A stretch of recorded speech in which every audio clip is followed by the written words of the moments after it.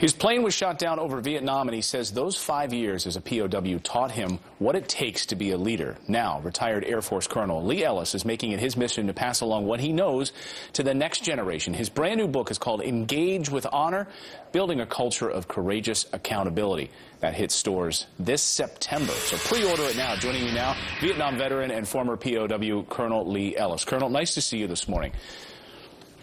Good morning. Good to be back with you. Yeah, it's great to have you back here on the show. Those five years obviously changed your life. What happened to you, and what did you witness during those years that compelled you these many years later to write this book?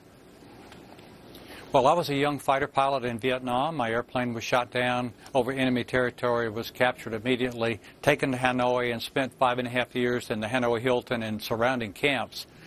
I guess the thing that I learned being the youngest guy in the camp and the junior ranking guy was I served under some fantastic leaders, and what I saw in them was character, courage, and commitment.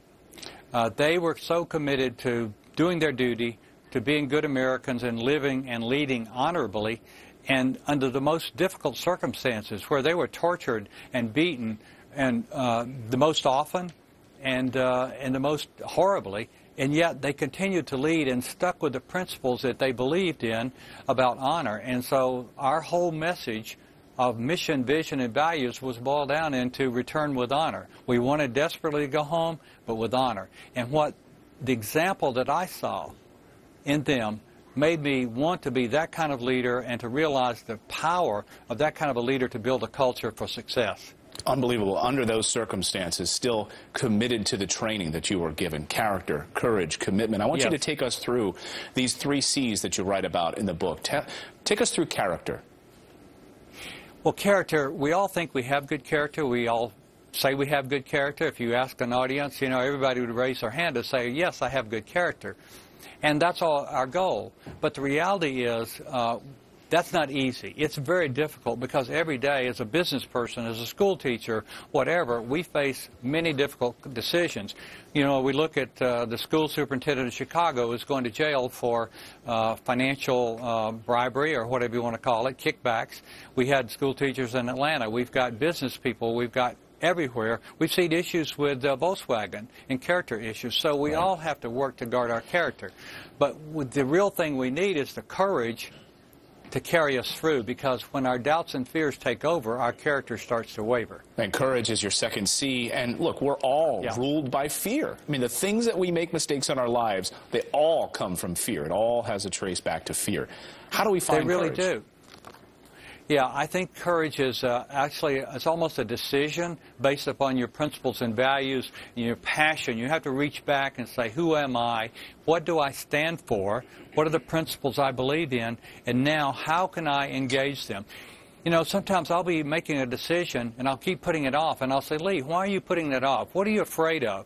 And I'll just sit down and think it through, and there is something that's holding me back, and it's fear and doubt, mm. and say, "Okay." You've got to come up with a plan and just go execute it to do the right thing. You don't want to do a knee jerk. You just want to go and do the right thing in a proper, respectful way. And when you do that, you always come out ahead. But you have to have that willingness to move forward right. into your fear.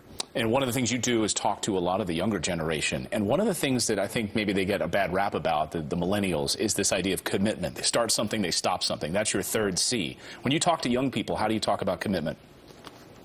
Well, it's really about staying the course. If you look at success in history, uh, one of the key things is passion, but the other one is commitment and staying with it. Uh, just don't quit. You can't beat someone who won't quit.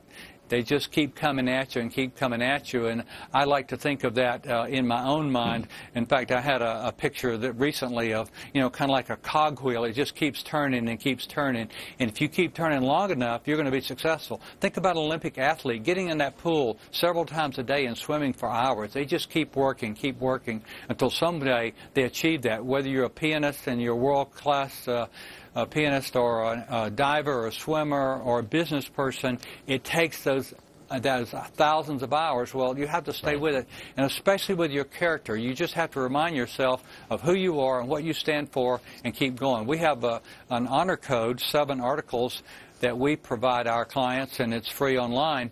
That uh, seven things about tell the truth, keep your uh, promises, uh, be accountable, be responsible. Just some simple things, but they're very hard to do, and you just have to keep reminding yourself, stay the course. I love it.